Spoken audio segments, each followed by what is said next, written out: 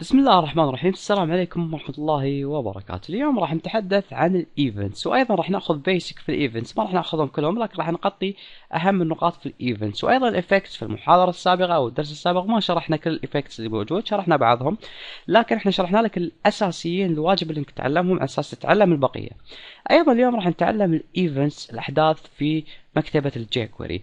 ال events هي نفسها نفس أحداث ال JavaScript اللي هي مثل on click onload unload uh, on mouse over on key down on key up إلى ما خلافه من أحداث موجودة في ال JavaScript. أيضا ال jQuery فيها أحداث.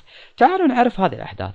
من ضمن هذه الأحداث إحنا خذيناها في المحاضرات اللي بدأنا فيها في ال jQuery وهو ready ready هو تقريبا نفس عمل onload window.onload أي عنده عمل الوثيقة يبدأ هو في العمل. نفس الأمر لل jQuery. ready هو نفس الوظيفة. طيب إذا هذا يعتبر حدث. دائما الحدث في ال jQuery يكتب بعده function بهذه الطريقة. يعني إذا بكتب حدث خلونا الآن أو قبل لا أكتب خلونا نشرح أحد الأحداث مثل حدث click. وراح نشرح بقية الأحداث على حدة بشكل آه، ميسر في هذه المحاضرة. راح نكتفي ببعضهم وبعدين نكمل البقية. راح نقول مثلا عندي div div طيب وراح أقول مثلا love uh, jQuery. طيب راح أعمل لل div هذا class uh, راح أسميه مثلا jq. ال class هذا راح أعرفه هنا jq class عفوا. طيب راح أقول مثلا color. راح يكون مثلا خلونا نقول blue على سبيل أو مو blue نقول مثلا okay نقول ست آه، ستات. طيب وراح نقول اللي راح نخفيه. على أساس آه، راح نتعلم حدث راح نخفيه الآن. طيب لو بنلقي نظرة refresh راح نلاحظ أتوقع أن الحدث مخفي. الحدث مخفي. طيب على أساس راح نستخدم آه، عفوا العنصر مخفي. راح نقول A A click me طيب أنا أبي عند ضغط click me طيب الرابط التالي اللي هو A خلونا نقول له href من غير href راح أقول له on click me يروح يروح وين؟ يعرض لي اللي إحنا عملناه اللي هو I love jQuery فهنا نستخدم حدث. أول شيء نستخدم ال ال يعني ال selector راح يكون هو اللي راح نضغطه على أساس يعرض الحدث. إيش اللي راح أضغطه؟ راح أضغط طبعا A. أنا محدده A ممكن تحدد class أو ID له بس أنا ما بحدد class أو ID بقول A بشكل افتراضي. لكن لو كان عندك أكثر من A في الوثيقة لابد إنك تحدد لها class على أساس يعرف هو وين يتعامل. فأنا قاعد احدد راح أقول له عندما يضغط على الوسم A click هذا هو الحدث. click طيب يعني معناته اختار لي A. لما يضغط عليه click كأني قاعد أقول ready راح أقول له function click function معناته الحدث. طيب function وتبدأ بهذا الشكل. وضعناها. أقواس معكوفة قوس فاصلة منقوطة. طيب هذا إغلاق اللي هو التالي اللي هو click كامل. طيب طيب. اذا أنا هنا قلت له حدث. قلت له أنا اخترت A يعني عند الضغط على A لاحظ معي عند الضغط على A يبدأ في العمل. إيش اللي راح يسوي لما يضغط على A هنا أنت تبدأ في شرح إيش راح يسوي. بناء على من؟ على ال effect اللي عندي اللي أنا درسته في المحاضرة السابقة. مثلا هذا مخفي فأستخدم إيش؟ أستخدم show على سبيل المثال أو fade out أو مثلا slide down على سبيل المثال. فراح أقول له لما يضغط على A اختار لي شوف لما يضغط على A روح اختار لي ال class jq اللي هو المخفي التالي ال class اللي إحنا عملناه اللي إحنا نبي نظهره لما يضغط على A. راح أقول له مثلا show عرضه خلال مثلا ثانيتين. عرضه خلال ثانيتين. لاحظ معي الآن refresh أضغط على click me لاحظ معي إيش صار؟ I love jQuery. اذا الفكرة جميلة. click me I love jQuery اذا هذه هي فكرة click الحدث. الحدث هذا يعادل طبعا onclick اذا خذينا حدث اسمه click لا تنسى. طيب هذا حدث من الأحداث. أيضا راح ندرس بعض الأحداث الآن. طيب طيب. أيضا عندي حدث ثاني اسمه double click هو عكس double آه، click عفوا. هذه click معناتها عندما يضغط ضغطة واحدة. double click تكتب في في البدايه dbl double click لما يضغط ضغطتين يعمل لي عرض للصندوق. refresh أضغط ضغطة ما راح ينفذ شيء. أضغط ضغطة ما راح ينفذ شيء. لابد إني أضغط مرتين ورا بعض. double click أساس يبدأ في عرض الصندوق بهذا الشكل. جميل. اذا عندي حدث ثاني اسمه double click وهو عبارة عن عندما يضغط مرتين على الحدث. هذا بالنسبة ل double click تعالوا نجي بلس راح نأخذ حدث ثاني. أه حدث حدث حدث حدث. خلونا نأخذ change. تعالوا نقول بهذا الشكل. Change يحتاج إلى نماذج. Change يستخدم عامة مع النماذج أو select أو من هذا القبيل. راح نقول مثلا عندي input type. راح نقول text. راح أضع له id راح أسميه مثلا user name راح أعمل لي واحد ثاني باسورد بس على أساس التوضيح break. هنا راح أقول له user name هنا راح نقول له مثلا password طيب طيب. تعالوا نعرف الحدث اللي راح نأخذه الآن وهو change حدث تتعامل معاه مع النماذج. خلونا راح نقول عندما يختار ال ID عفوا ال ID اللي هو username طبعا عارفين username عفوا ال ID اللي هو النموذج التالي. خلونا أول شيء نعرض هذا refresh آه، النموذج هذا username هذا password عبارة عن نماذج. طيب؟ طيب. username راح نقول له on مثلا. آه خلوني أعمل div هنا. بس div من غير شيء راح أقول div وراح أعطيه class اسمه مثلا message راح أخليه خالي. راح أخليه خالي من غير شيء. طيب؟ راح أقول هنا change. حدث اسمه change. خله هنا بلس change. إن خذينا change. طيب؟ change. راح نقول له لما يغير function. الآن نوضح الحدث. أنا كتبت ال form هذا كله على أساس أوضح لك فائدة الحدث بمثال مباشر. Change. عندما يتغير راح أكتب شيء هنا. راح أقول له روح لي إلى class message. طيب.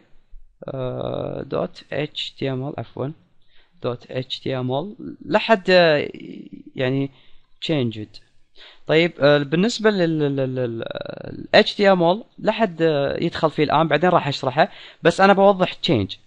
طيب HTML هي مقابلة ل ال inner HTML في ال JavaScript. طيب طيب. هنا ال username أنا اخترته قلت له change. معناته change هو لما أذهب الآن إلى الحقل. مثلا رحت إلى password كتبت شيء وابتعدت. على سبيل المثال change أنا قاعد أتكلم عن change هنا أنا غيرت. غيرت القيمة. هو كان صفر في الأساس. وغيرت القيمه جميل؟ أنا قاعد أتكلم عن password إحنا قاعد نتعامل في الأساس مع username بس أنا قاعد أتكلم تحت عن password على أساس لا يظهر اللي أنا عملته. طيب لما أغير شيء هو راح يظهر لي رسالة انه تم تغيير شيء معين مثلا أو تم التغيير. خلونا الآن نبدأ مع username refresh أذهب إلى username username خالي.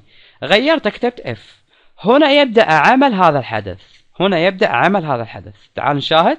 لاحظ معي changed أعطاني كلمة changed اللي إحنا عملناها يعني لما يغير اطبع لي على الوسم اللي هو message class اللي هو message حط لي فيه changed طيب اذا الفكرة ل change هي عندما تغير حقل أو قيمة معينة سواء هنا أو في select. أول ما أغير يعطيني changed تم التغيير ترى.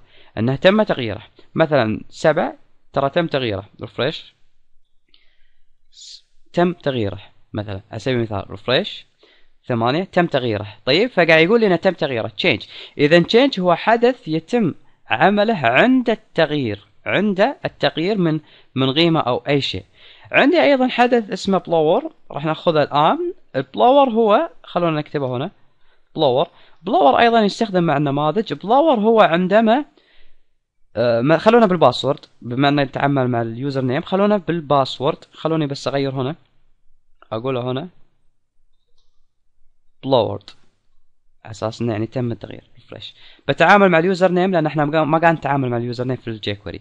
فلما مثلا ضغطت وابتعدت لما ضغطت الآن ضغطت. أنا في داخل الحقل. وابتعدت عنه. هذه عملية ال blur عند الابتعاد. لما أضغط وابتعد هذه هي ال blur جميل؟ يعني خلوني مثلا هنا. ضغطت هنا. ابتعدت. راح تلاحظ أعطاني blurred يعني تم عملية ال blur اذا هذا معنات ال blur الحدث blur ضغطت ابتعدت هذا معنات ال blur بينما changed مختلفة عنها لا احد يعتقد ان changed نفسه أو change عفوا. change عفوا change change لو الآن رحت مثلا إلى username ضغطت عليها وابتعدت ما تغير. لأني ضغطت وابتعدت وما غيرت شيء.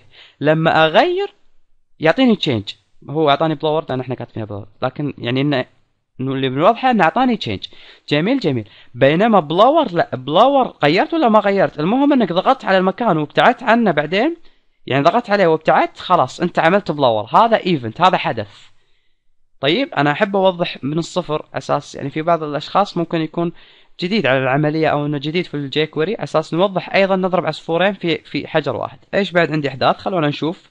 عندي click double click date get هذا راح ناخذها فيما بعد event current target راح نوضحها فيما بعد submit أيضا راح نوضحها. عندي focus تعالوا نوضح focus طبعا focus من من المميزين راح نقول focus الحدث focus خلونا نجيبه نضع هنا أيضا بلس focus أساس تعرف. focus هو عند التأشير. خلونا نقول this is focus. أنا كتبتها focus بالجزء. Focus. طيب تعالوا نعمل refresh focus هو عندما يركز على الحقل يعني لما أضغط هنا password وأركز عليه بهذا الشكل أنا ركزت. هنا يبدأ ال focus تعالوا نجرب على ال username راح أعمل focus أضغط عليه. تلاحظ this is focus. خلاص أنا عملت focus عملت focus عكسها كما تلاحظ عندي هنا عكسها focus out. Out. تعالوا نقول this is focus out. طيب تعالوا نعمل refresh. لاحظ معاي؟ الآن ما في شيء. أبتعد يبدأ في العمل. هذا معناته focus out يعني تم الابتعاد آه تقريبا نفس blur focus out طيب focus out جميل هذا بالنسبة لي focus out طيب إحنا خذينا الآن focus focus out أيضا على أساس نوضح الأهداف اللي خذيناها. أتمنى إنه واضحة الفكرة. مع التطبيق بإذن الله يعني مع التمارين راح نأخذها لإنشاء ال jQuery يعني مع التعامل مع النماذج وكيفية العمليات اللي تتم في ال jQuery مستقبلا يعني بعد كمحاضرة من المحاضرات الأساسيات. راح تفهم أكثر بس إحنا بنوضح كيفية التعامل معاهم متى تستخدمهم ومتى بهذا الشكل يعني. بلس خذينا focus out. طيب. focus out. خلونا نشوف أيضا من الأحداث ندخل على المنيو ال الخاص فيها focus out. عندي hover. hover هو عند عند المرور. hover عند المرور. يعني الآن لو نقول مثلا آه خلونا على ال username hover. مو شرط مع مع النماذج. لو نقول مثلا خلونا div message هذا. خلاص نمسح التالي. طيب راح أقول له لما يضغط على div اللي هو message عفوا ال class اللي هو message hover. عند المرور عليه يعني. خلينا نكتب مثلا hover me طيب. عند المرور عليه مثلا خلونا نقول إيش يسوي مثلا؟ عند المرور عليه يغيره خلونا نقول uh, this dot html. ما حد له دخل باللي قاعد نكتبه هنا بعدين راح نشرحه. مثلا uh, thank you. على سبيل المثال. refresh على أساس نوضح ال hover refresh hover معناته لما أمرر على الصندوق لما أمرر على الصندوق آه، يعمل الحدث. خلونا أمرر راح تلاحظ أعطاني thank you refresh خلونا أمرر راح تلاحظ أعطاني thank you refresh thank you وبهذا الشكل. هذا معناته hover لما أمر على اللي هو الحدث. هذا الحدث معناته عنده مرور المؤشر على المكان المعين اللي مختارينه. هذا بالنسبة ل hover. تعالوا نشوف أيضا من الأحداث. عندي key down key press key up هذا راح نستخدمهم بكثرة إن شاء الله مستقبليا. mouse over mouse up mouse one ready scroll submit كل هذه الأشياء راح نشرحها. يعني فيها event كثير. يعني راح نشرحها مستقبليا. أتوقع آه نكتفي بهذا القدر من ال events اللي موجود. ال basic events أعتقد إن هذا يعتبر basic events بالنسبة لك. آه طبعا مع التطور راح نأخذ كل ال events اللي موجود. ما بشرحهم كلهم مرة واحدة لأنه راح يأخذون وقت. هناك بعض ال events يحتاج يعني يحتاج إلى درس لوحده. طيب أتمنى إن النقاط ما كانت صعبة عليكم. وإلى هنا السلام عليكم ورحمة الله وبركاته.